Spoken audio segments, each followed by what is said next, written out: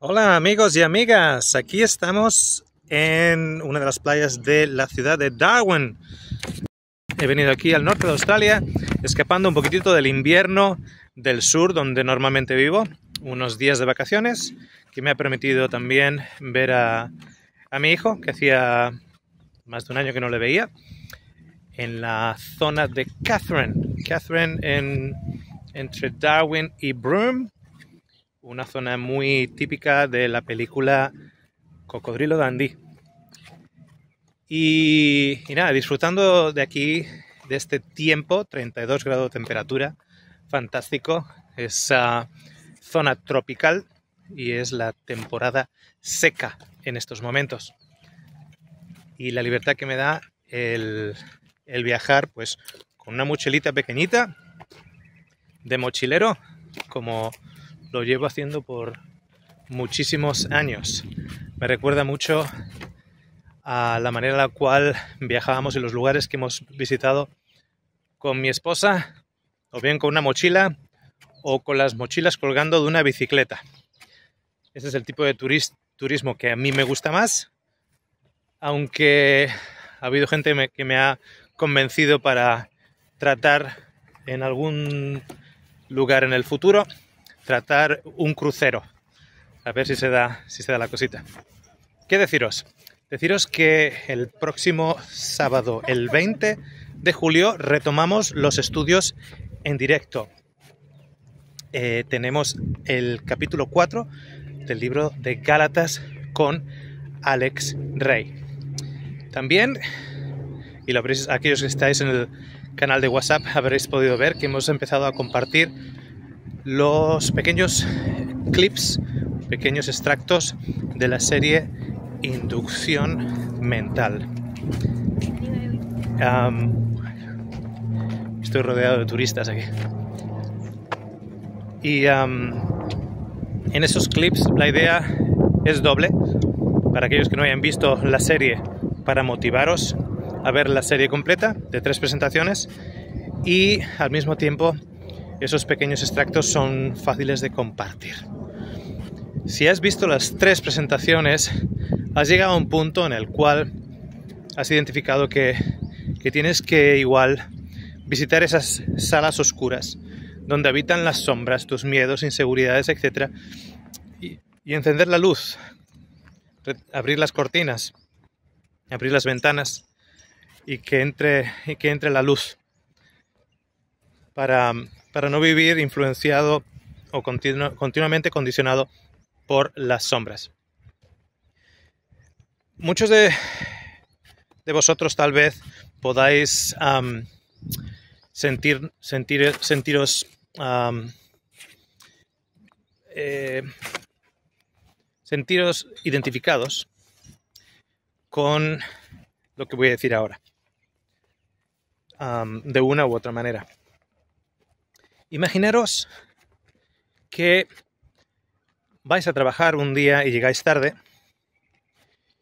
y cuando el jefe os pregunta por qué has llegado tarde, vosotros le contestáis porque mm, la batería de mi coche o de mi auto estaba, estaba sin carga, entonces tuve que llamar al mecánico para que me cargara la batería, etc.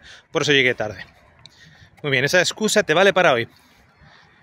Digamos que sales de trabajar a las 7 de la tarde y la tienda donde se compran baterías nuevas está cerrada. La misma excusa te puede valer mañana. Pero dependiendo de la excusa y dependiendo del contexto, toda excusa, tiene su fecha de caducidad. ¿Qué significa? Que tú no puedes ir después de 5 días con la misma excusa al jefe es que mi batería está descargada. Porque tu jefe te va a decir lo siguiente. Una vez que ya identificaste que tenías un problema, no se trata de ignorar el problema y no se trata de que uses la misma excusa continuamente. Se trata de tratar de solucionarlo. ¿Qué quiero decir con ello? ¿Por qué os, he usado esta Ilustración. Imaginaros una persona que le fallece eh, el esposo. Durante el siguiente año no sonríe y vale la excusa de que mi esposo falleció. Durante ese siguiente año, ese primer año, después de la muerte, es una persona que está tratando de, buscar nuevamente su horizonte, buscar nuevamente su norte. Eh, no quiere salir, mm, eh, está más antipática, eh, está más tristona, etc. La excusa de, de que has perdido al esposo, como en este ejemplo, por ejemplo, tiene también una fecha de caducidad.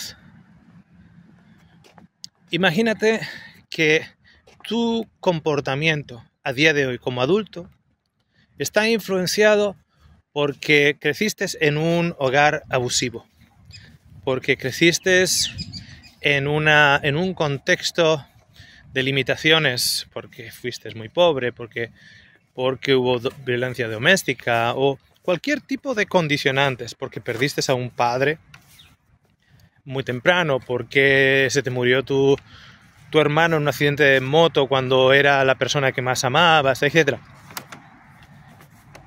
Pero eso ocurrió cuando tenías 15 años, ocurrió cuando tenías 12 años, ocurrió cuando tenías 7 años.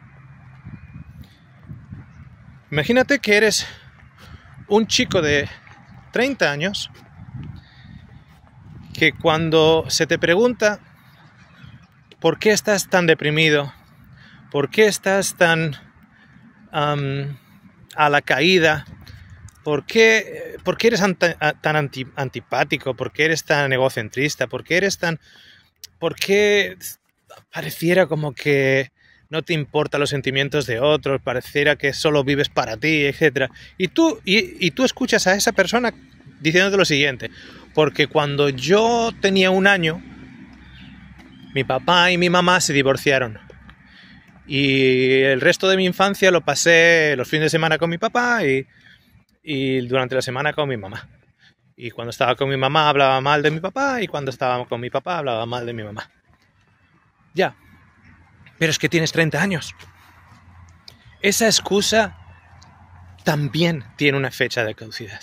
Y no se trata de que la persona apriete los dientes, apriete los puños y diga, bueno, pues voy a tirar hacia adelante. No, no, no, no. Se trata de que tenemos que arreglar el problema.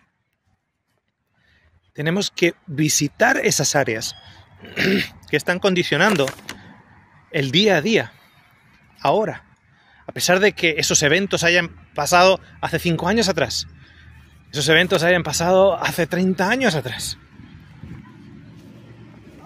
Yo conozco mujeres que tienen 70 años que todavía están encasquilladas a cuando su, su pareja les dejó cuando tenían 40. Se han pasado 30 años y todavía están encasquillados allá. Esa excusa ya tiene fecha de caducidad. Ya ha caducado. Hay que ir a, a arreglar el problema. Hay que ir a comprar una nueva batería.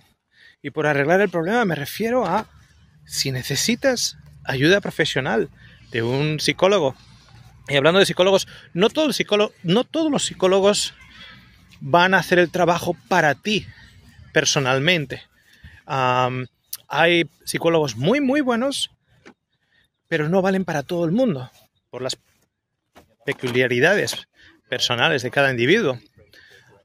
Hay personas que no necesitan un psicólogo, que necesitan un buen amigo, alguien que les escuche, alguien con los que puedan ser ellos mismos a la hora de expresarse. Y no se trata de simplemente de repetir la excusa, no estoy yo aquí porque... No, no, ¿qué estás haciendo al respecto? ¿Cómo estás solucionando el problema? La excusa es que no tiene batería, que no tiene carga la batería. Perfecto. ¿Qué estás haciendo al respecto? No ignores el problema, sino adéntrate en esas habitaciones que hablábamos en la serie, de las que hablamos en la serie eh, Inducción Mental, y empieza a arreglar la situación. No puedes vivir toda tu vida reciclando las mismas excusas. En unos días más regreso al invierno y os recuerdo que que el próximo sábado, sábado 20 de julio, estamos con Alexei en Galatas 4. También aprovecho para deciros que Galatas 3 también está subido. Así que para estar preparados para Galatas 4, os invito también a ver Galatas 3. ¿Ok? Bendiciones.